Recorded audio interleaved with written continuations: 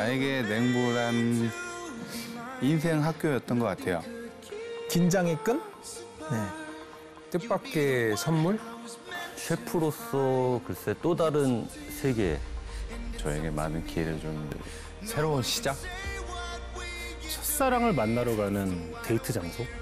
웹툰은 자식 같은 존재고 요리라는 건 항상 이제 첫사랑 같은 느낌의 어떤 설레이는 감정으로 어, 느끼거든요. 제 딸이 기억하는 첫 번째 프로그램이 될 겁니다. 이기고 오면 되게 좋아했고 지면 아빠 힘내라는 말을 알아서 아빠 힘내 이런 얘기도 해주고 나에게 냉불은 인생 터널 같아요.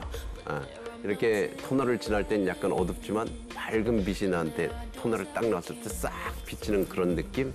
아, 냉불을 제가 출연하면서 인생이 많이 바뀌었어요. 튀겠습니다. 어, 치지 마. 치지 마. 하나, 둘, 셋.